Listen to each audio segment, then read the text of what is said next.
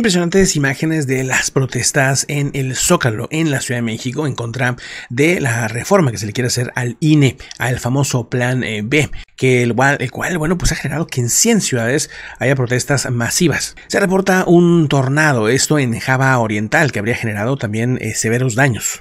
Impresionante los daños en Brasil, con estos temporales que han tenido allá hacia Santa Catarina, Brasil, pero en diferentes zonas han estado generando afectaciones, las inundaciones y el exceso de lluvia que han tenido, inundaciones, caídas de infraestructura, apagones, entre otras situaciones importantes. Muy atentos con lo que pasa en Brasil, que han tenido un año particularmente fuerte en cuanto a clima extremo. En los primeros reportes de un sismo de magnitud 5.6, con epicentro en Malataya.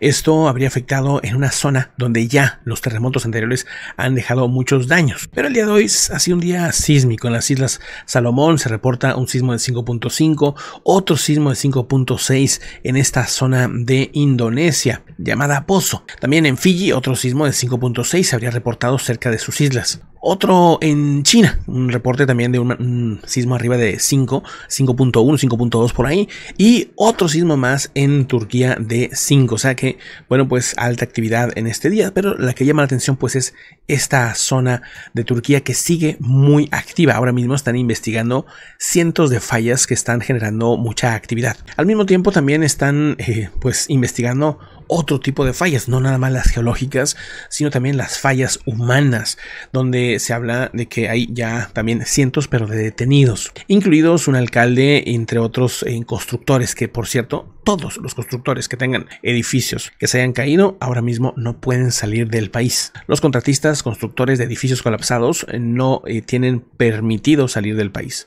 Esto obviamente en Turquía. A tres semanas del terremoto de 7.4 el gobierno quiere pues investigar a todos los contratistas sospechosos, pero también tendría que investigarse a sí mismo, porque este algo que hubiera sido en uno o dos casos pues sí, está bien, es culpa de los contratistas. Pero cuando esto es generalizado, evidentemente la principal responsabilidad es del gobierno de Erdogan. Por eso mismo ha estado censurando todos los medios en Turquía que ha podido que le han criticado y que le han dicho este punto. La zona de Mariupol está ocupada por los rusos, es una zona en la que ahorita los rusos están controlando, pero durante los últimos siete días han estado reportando en muchas de estas zonas explosiones, dicen, inexplicables. Bueno, y es que los mismos del Ministerio de Defensa del Reino Unido han dado un, un reporte, un informe de inteligencia que ha contabilizado al menos 14 informes distintos de explosiones desde el día martes anterior. Esto alrededor de Mariupol que aseguran pues eh, podría estar siendo atacado por Ucrania. No hay tanta información, aunque los mismos también medios eh, prorrusos ya han reportado también estas explosiones. Es probable que Rusia le esté preocupando que se estén produciendo explosiones inexplicables en esa zona, sobre todo porque han sido afectados activos militares. Estamos hablando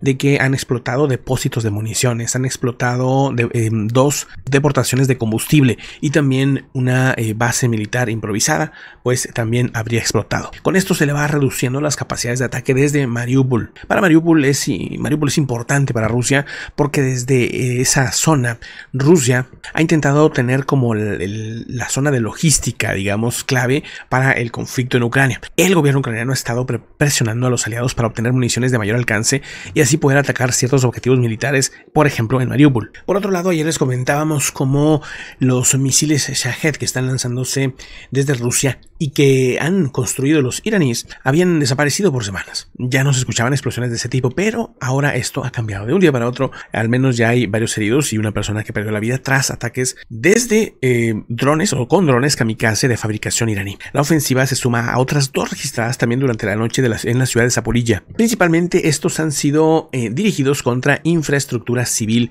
no residencial. En este caso, las fuerzas ucranianas derribaron eh, más o menos unos 11 drones kamikaze de fabricación iraní durante esta noche pasada, en, en respuesta también a un ataque ruso con 14 aeronaves no tripuladas con explosivos que causó el fallecimiento, como les digo, de una persona y dejó varios heridos según lo reportado. Según se sabe, los rusos habrían estado, eh, bueno, pues lanzando estos misiles. Ahora, este tipo de dron misil, digamos, eh, pues llama la atención de dónde lo están sacando, porque en teoría ya se les habían acabado. Y según los iraníes, no están vendiéndoles drones. Entonces, pues, ¿qué está pasando ahí? Nueve de esos 11 drones fueron derribados en espacio aéreo alrededor de Kiev, también en la capital, según lo que dice Cheryl Popko, jefe de administración militar de la capital ucraniana, donde la alerta aérea nocturna estuvo prolongada durante 5 horas y media. Estuvieron con las sirenas y con las alertas. Otras zonas que se han emitido también alertas son eh, Chernigov, en las provincias de Sitomir, Dnipropetrovsk, Kharkiv, Donetsk, entre otros lugares. Según el mando de Estado Mayor General de las Fuerzas Armadas Ucranianas, hasta el momento los intentos de las tropas de Vladimir Putin en esa zona de progresar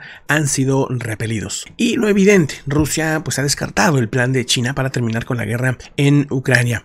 Dice Vladimir Putin, el presidente de Rusia, que no ve condiciones para la paz. Asegura que la propuesta merece la atención, pero que las premisas no están dadas para una cese de hostilidades entre este pues lo que es Rusia y Ucrania. Consideramos, dice, eh, que un plan de nuestros amigos chinos con una gran atención, pero es un largo proceso. Por ahora no vemos las premisas para que este asunto pueda tomar una vía pacífica, declara el mismo vocero del Kremlin, Dmitry Peskov. Es que el, pasado fin de semana, bueno, el viernes, ¿no? Eh, China puso un, reporte, como ya lo sabrán, o habrán visto el reporte que les, subimos por aquí, con 12 puntos y los comentamos cada uno de ellos. Y pues es que ya con el primero era, era más que suficiente, que obviamente Rusia no iba, pues no iba a querer, ¿no? Porque es pues respetar la soberanía de los países, respetar el territorio de cada país y evidentemente pues eso ya desde ahí no sucede. Si sucediera, el punto uno es que la guerra se acaba el mismo día, pero pues eso no va a suceder.